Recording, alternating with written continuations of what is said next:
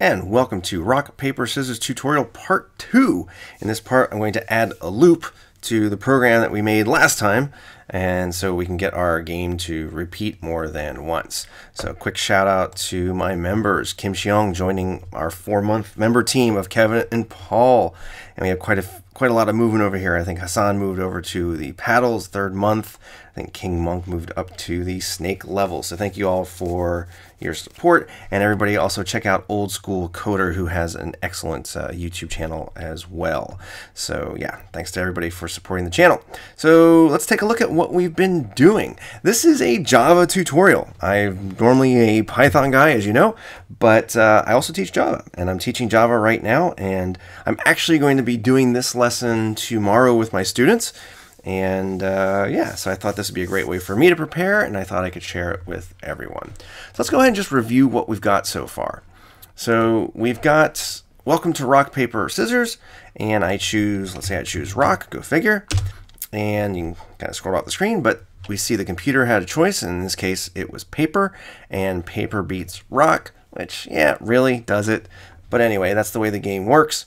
And the program ends. So at this point, you know, I have to rerun the program and it just gets tiresome to do that. So what I want to do here is I'm going to do something called a for loop. And what I want to do with this is I'm going to decide how many times I want my program to repeat. So before we do that, let's take a look at a couple things here. Um, you can see here in the main method, this is where we create our variables. This is where we create our objects, or I should say instantiate our objects. Is probably a better way of putting it. So we've got a scanner, we've got a random object, and we've got some strings, we've got an int. And then here we're printing the title of the game.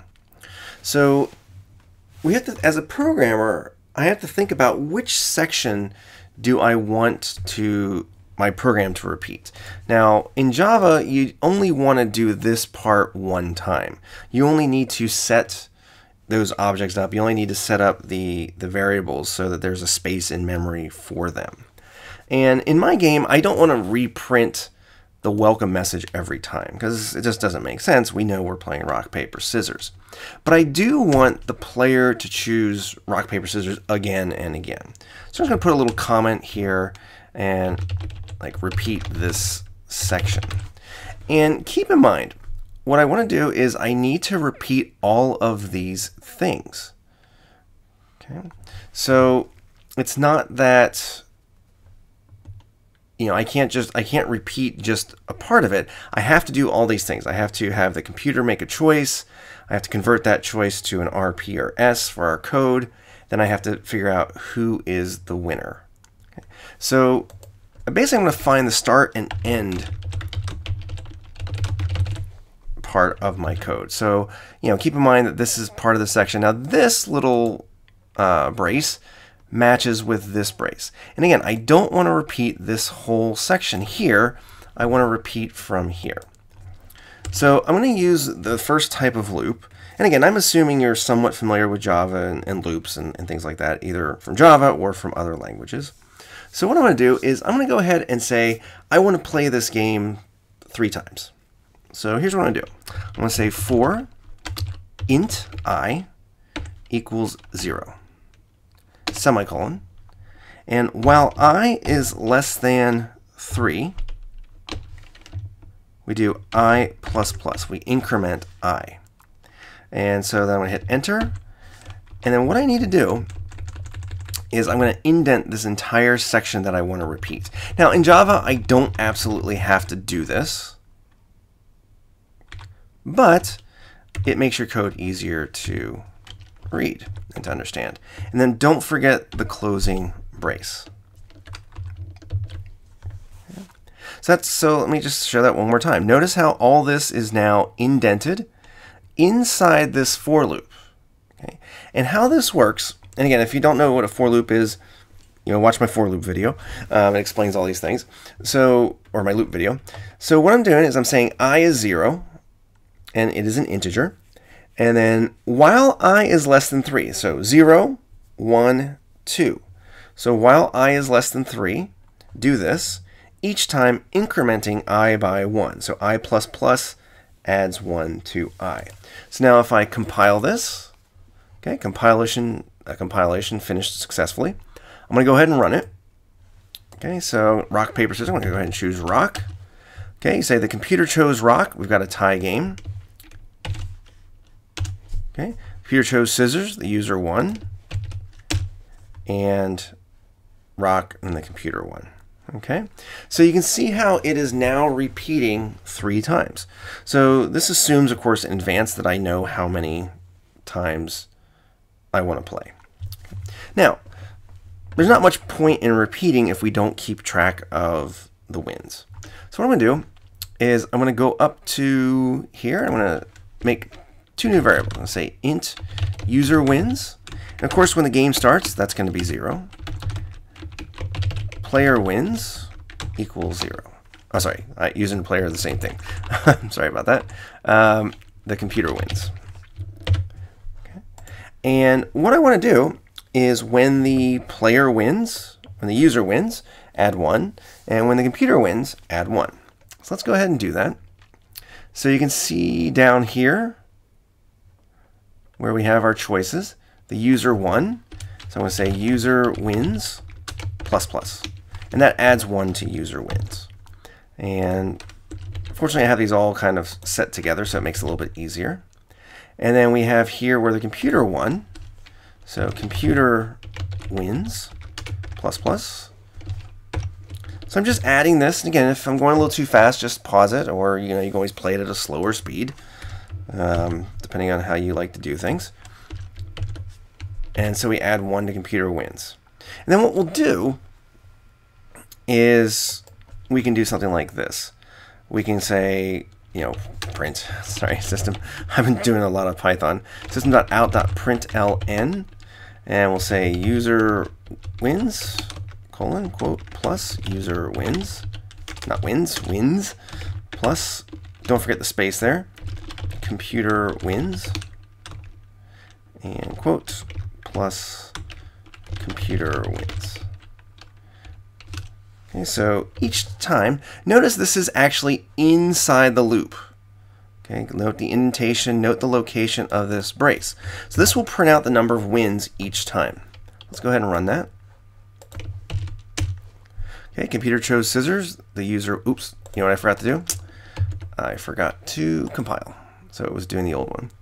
And I got an error. And of course I forgot the semicolon because I've been doing tons and tons of Python lately. Okay, so compiled successfully. Let's go ahead and run it. And so we're going to have to run it one more time. So rock. Okay, the computer shows rock. We got a tie. User wins zero. I'm going to go ahead and try rock again. Ooh, the computer chose paper. The computer won. Computer wins one. Uh oh Let's go ahead and rock. And let's see here. And we got a tie. So you can see in this case, um, the computer won more than I did. So what we've decided, again, this particular version of the game, what we decided is that we're going to play it three times, and we're doing best of three.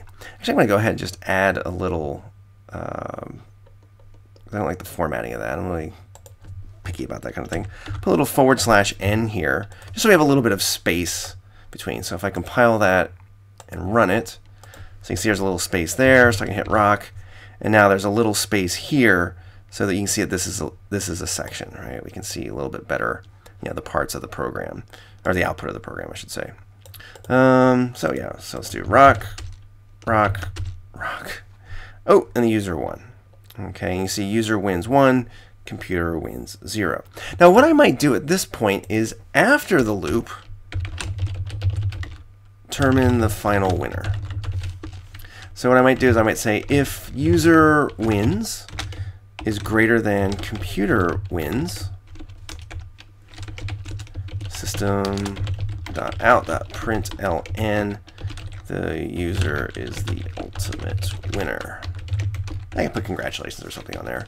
Um, now, if that's not the case, I can say else if, else if, uh, say user wins is less than computer wins. Uh, well, I'm just going to copy that because I don't feel like typing the whole thing again. And I'm going to say the computer is the ultimate winner.